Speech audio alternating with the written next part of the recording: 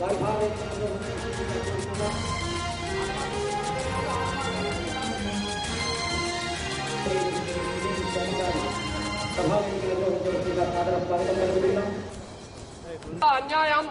ఆదివాసుల కోసం పెట్టిన ఈ కార్యక్రమం ఆదివాసుల్ని నిర్బంధించడానిక ఆదివాసీ విద్యార్థుల్ని నిర్బంధించడానిక చెప్పాల్సిన బాధ్యత ఉంది.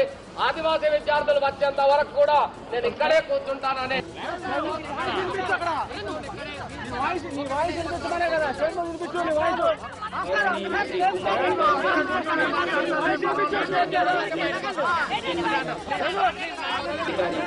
శ్రీ జె.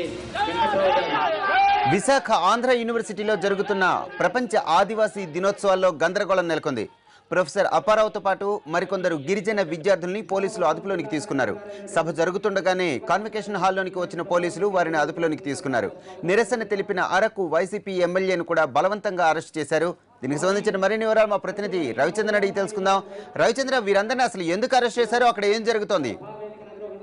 వరప్రసాద్ ప్రపంచ ఆదివాసీ దినోత్సవం రాష్ట్ర స్థాయి వేడుకలు విశాఖలో జరుగుతున్నాయి. ఈ వేడుకలు జరుగుతున్న సభలో ఏయూ కాన్వకేషన్ హాల్లో ఒక్కసారిగా అనూహ్యమైన పరిణామం చోటు చేసుకుంది.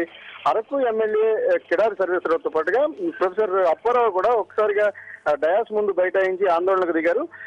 దీనికి ప్రధాన కారణం ఈ రోజు ఉదయం ఐదుగురు గిరిజన విద్యార్థులను పోలీసులు అదుపులో తీసుకున్నారు. వీళ్ళంతా ఈ సభకు ఆటంకం కలిగించే అవకాశం ఉంది. అలాగే పాంప్లెట్లు పంచుతున్నారన్న అనుమానంతో వీళ్ళందరినీ కూడా అదుపులోకి తీసుకోవడం జరిగింది. ఆదివాసీ దినోత్సవం రోజు గిరిజన విద్యార్థుల అరెస్టులను నిరసిస్తూ ఎమ్మెల్యే ఒకసారిగా బైఠాయించడంతో కాసేపు గందరగోళ వాతావరణం నెలకొంది. దీంతో కిడారి సర్వేశ్వరరావుతో పాటు ప్రొఫెసర్ అప్పారావును కూడా పోలీసులు అదుపులో తీసుకుని త్రీ టౌన్ పోలీస్ స్టేషన్కు తరలించారు మా తర్వాత సభ అయితే సజావుగానే జరుగుతోంది. అయితే గిరిజన విద్యార్థులను అరెస్టును నిరసిస్తూ అటు వైసీపీ ఎమ్మెల్యే అందరూ ఎమ్మెల్యేలు మాత్రం ఆందోళన కొనసాగిస్తున్నారు Prasad right thank you Ravichandra Yuvaraju గారిని ఈనాటి సభా వేదికను అధిరోహించవలసిందిగా సాదర స్వాగతం పలుకుతున్నాం. మాజీ మంత్రివరి బాబురావు నాయుడు గారి వైస్ చైర్మన్ కూడా వారి భావ వేదికను అధిరోహించవలసిందిగా కోరుచున్నాం. నేను శ్రీ సివేరి సోమ గారు సభా వేదికను అధిరోహించవలసిందిగా సాదర స్వాగతం పలుకుతున్నాం. అన్యాయం.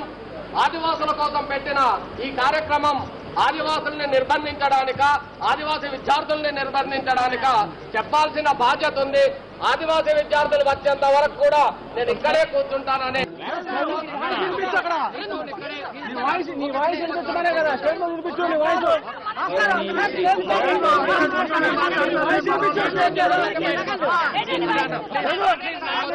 గౌరవనీయులు శ్రీ జె.